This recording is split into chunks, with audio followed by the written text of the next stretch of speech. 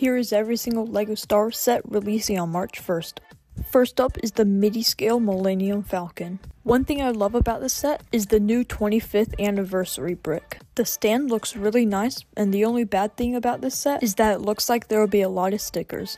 And if you look on the back of the box, you can see the engine. This set will retail for $84.99. Next up is the Tantive 4, which is by far the worst midi scale set of this year. It is also really overpriced, coming in at $80 for only 654 parts. The next set is the Invisible Hand. This set has a really cool feature where you can split it in half just like in the movies.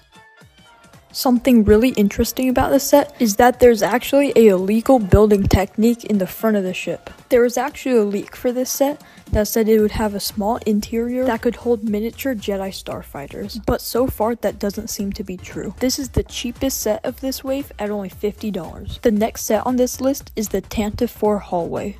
This set has 7 minifigures, one of them being an exclusive Fives minifigure. There are also a bunch of play features like being able to flick up minifigures and being able to open and close the door.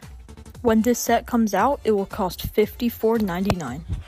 The last set is the buildable R2D2.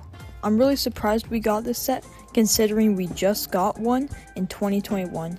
But this one is a lot more affordable at only $100 and you can add a bunch of accessories to it like a third leg and a antenna.